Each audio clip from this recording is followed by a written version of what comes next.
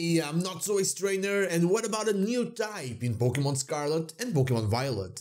Let's get into it! It's still unbelievable to me that we're already talking about Gen 9 and that it is based around my home region of the Iberian Peninsula. But it's time to accept this and start analyzing everything, and maybe even over-analyzing the trailer we got.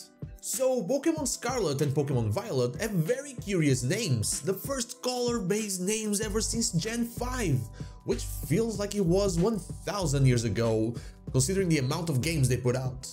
My first thought when I looked at the trailer was that Scarlet is there for the blood oranges and Violet is there for the grapes. Easy enough, right? Red was there for Charizard and blue for Blastoise, gold kinda for Ho-Oh and silver kinda for Lugia, and they decided to just trick our minds with black for Reshiram and white for Zekrom, but you could still see it there. But we all know that grapes and oranges aren't where it ends. But to talk about that, we need to talk a little bit about light.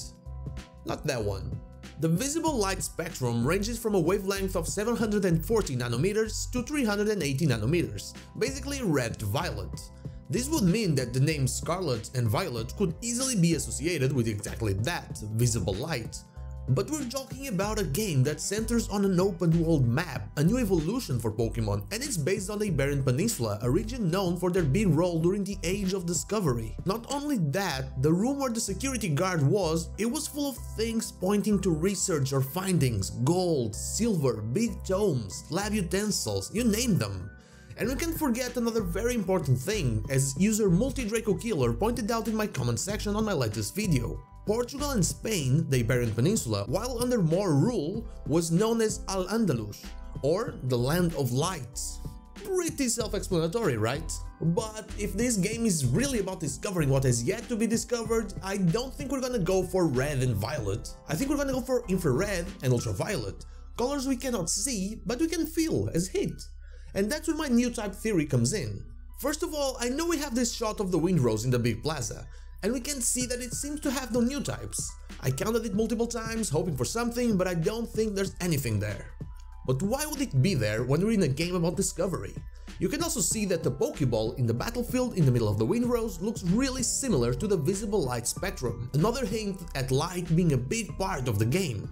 You'll also notice that colors like grey, pink, black and white don't take part in the visible light spectrum, and that's because pink, for example, is a mixture of red and purple and the others are extra spectral colors, also known as grayscale, ranging from white, which is maximum light, to black, the absence of light. Well, we already have a dark type, and with all this talk of light in the game, I'm sensing a new light type might be in the works. But I don't think it will be like a regular type that you just find around, I think it will be more of a mechanic. We all know about the triangular prism experiment, right? The one in Pink Floyd's Dark Side of the Moon album cover. Basically, if white light hits a triangular prism, it will separate itself into the visible light spectrum. We haven't seen a triangular prism in this game, but we have seen this weird gem in the Japanese logos for Pokemon Scarlet and Pokemon Violet.